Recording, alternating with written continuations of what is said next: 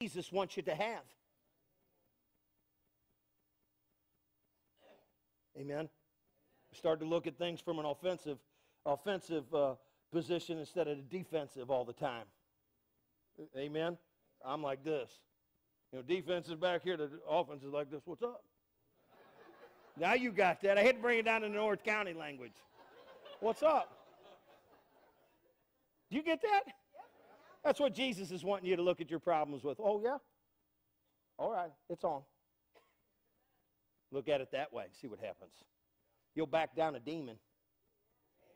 Don't act like a wimp in front of a demon.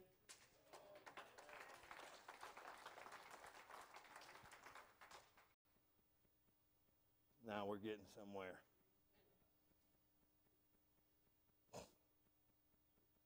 So in 23, it says the same day, the Sadducees, so these are the other cats, the liaison with the Roman government.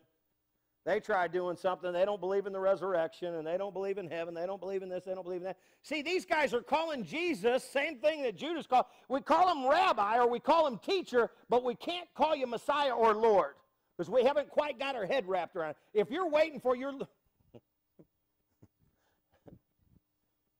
Watch me.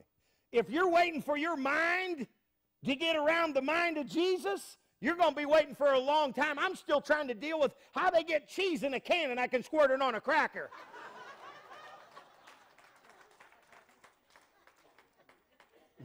well, when I figure out Jesus, these guys are on fire over here. It must be because Geeson's over here or something. You ever see that? Well, I can't. I'll call him a teacher and a prophet. That's what the world does. Are you? Give me a break. Everybody knows he's the Messiah. The demons know he's the Messiah. They shudder at his name. I was just saying his name. Yeah, when you, when you don't know what to say, say his name. Don't think up some concocted prayer. Oh, call down the chariots of fire, and I'm to just say the name of Jesus. If it works once, it works great twice. You just say his name. Just walk around your house and walk around your property and say, Jesus, Jesus, Jesus. Amen. Just walk around. It just feels good. Amen. That's what you say. You say Jesus. When you don't know what to say, just say Jesus, and everything from there will work out. You say, boy, that's, that's, that's a bold statement. Oh, you don't know how bold it is. So we're getting this love walk thing down. So these guys, these Sadducees, they don't believe in the resurrection and all that kind of mess. And then they go, seven brothers were married to this wife, and I'm paraphrasing all this stuff. And, and when we die, they're trying to knock Jesus off his square. You ever see people try to knock Jesus off his square? Here, here, I don't know if I told you guys this or not. Correct me if I did. The way, that, the way they try to knock Jesus off his square now is what they'll do is they'll allow some, some highfalutin pastor to be interviewed on, on national television. And they'll get some famous talk show host to go, Pastor so and so, do you really believe that Jesus is the only way into heaven? and that pastor will get the stuttering. And he'll go, well, it should, what they need to do is, is, is Take the camera off of him and put it on me over here. and when they interview me and they say, Pastor Pat Rankin, do you totally believe that the only way to heaven is through the blood atonement of Jesus Christ that was done on Calvary? And I go, You got that right, Jack, and you need to accept him. Hey, listen to me, and you all can't get there unless you're born again. How do you like that? Good golly, Miss Molly. Yes, yes. I said it. I believe it. That settles it. Hallelujah. Interview me and see what happens. Hallelujah. Well, we're not really sure. And, you know, we think God is just, you know, hey, let me tell you who God is. Y'all are going to meet him one day and every single cotton picking one of them are going to say Jesus is Messiah. They will say that.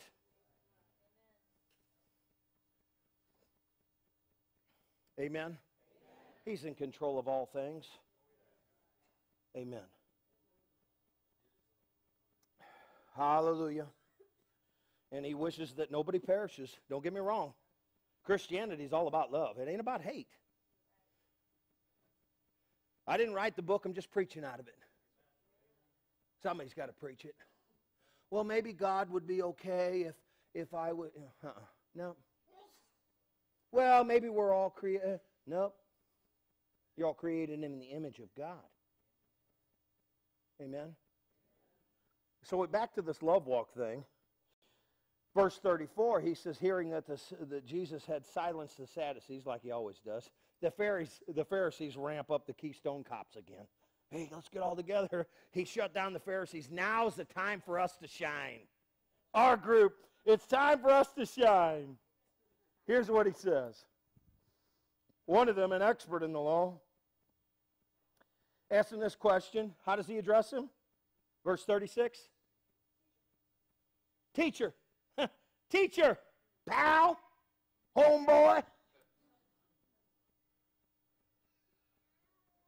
You'll get reverent one day with Jesus.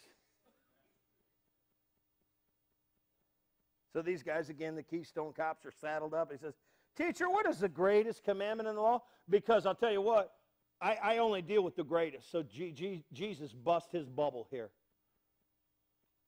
Jesus replied, Love the Lord your God with all your heart, with all your soul, and all your mind. This is the first and the greatest commandment. And the second is like it love your neighbor as yourself.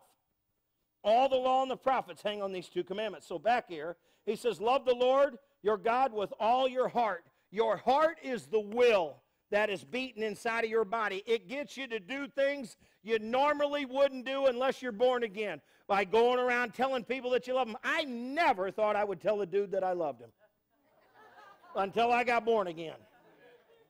Amen. You might need to do that right now. Start practicing right now. Just look at your neighbor and say, I love you. Do it anyways bearded man to another bearded guy? See, you're going to be doing that in heaven. You might as well get some practice in right now. you say, Jesus is looking down right now, Terry. He goes, What are y'all doing? I go, Just practicing, Jesus. just practice. I'm, I'm practicing my love walk. Because Jesus knows if you get this down, you'll get the rest down. Love the Lord your God with all your heart and with all your soul. Soul is, is like I told uh, the, uh, the last service. Your soul is your affection. It's, it's what oozes out of your pores. Like if you're jogging, sweat oozes out of your pores. If you're a teenager, it's acne. Amen? it is. My daughter, my daughter puts Clearasil on sometimes now. That's your affections if you're spirit filled. It oozes out of your pores. Something pours out of a man that's born again. Something's pouring out of Travis Davis where he wants to spend his time with young men and teach them about the love of Jesus Christ. Stand up for just a second, Travis. See, Travis has the things of God on his mind. It's oozing out of his pores. Amen. Eh, you can't deny it when, it, when a guy like him goes in and is talking to all these kids that are headed to jail or hell or wherever. It oozes out of his pores. It's in his soul. It's illuminated out of his soul, Mr. Rubel. There's something about him that just goes, you know what? That, that dude reeks Jesus. Amen. Amen. I think that's wonderful, don't you? And then with all my mind, that's my intellect, Harry. I need to go to yours and Carl's Sunday school so I understand why I love Jesus and what he's about. Carl, and I'm transformed by the renewing of my mind and, and, and learn how to, to pull down strongholds and demolish them and things like that. I need to know that kind of information. That's what he's talking about here. He says, This is the first and the greatest commandment, and the second is love your neighbor as yourself. And you guys know the story about the Good Samaritan. Everybody passed by. The Levite, the priest passed by, but the one that stayed there was the Samaritan guy. Samaritan guy was considered a half breed. Half breed. He was mixed with such and such and such and such. Amen. There's only one race. It's called the human race. We pigeonhole people. All right, good. We got one honest guy besides myself. well, he's there and she's this and that. Amen. Amen. That ain't the way it works in heaven. Everybody's all the same. Everybody down here, Jesus looks at them all the same. But let me tell you actually how Jesus pigeonholes them. Saved? Unsaved. Are the only two categories. So love your neighbor as yourself. And some people, not at this church, are really in love with themselves. If you could take just a thimbleful of your mere time, or your teenagers, you ever seen how much time a teenage girl stands in front of the mirror?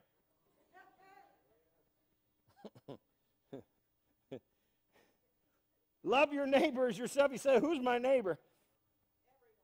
Everybody that you come in contact with. Stand with me.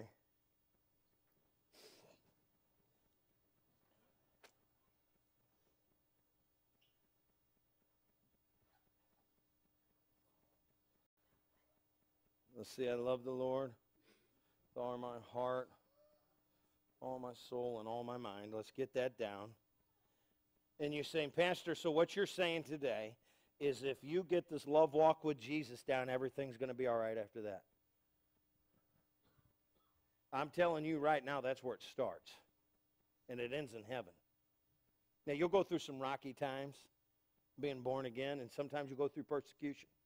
But Jesus promised that he would be with you in them times of persecution. Remember this, my friends. He will either take your hand and walk you through the fire, or he'll take your hand and remove you from the fire. Either way, you'll come out on top. And you say, boy, I would love to love Jesus, but I, I, I don't know how to do that. I've never, I've never I've never really loved Jesus. I don't even know who he is. Well, today he wants to reveal himself to you. He, he wants an intimate and personal relationship with you. And here's the deal you can't call him teacher. Teacher doesn't get you into heaven. Rabbi, even a Hebrew word like rabbi, doesn't get you into heaven. Knowing the priest, knowing the nun, knowing the pastor, knowing some people in the church. If your Aunt Edna was part of the church, that doesn't get you into heaven. Only the love of Jesus Christ dwelling inside of your heart gets you into heaven.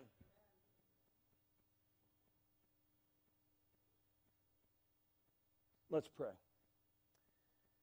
Lord, today we realize that we truly are running out of time.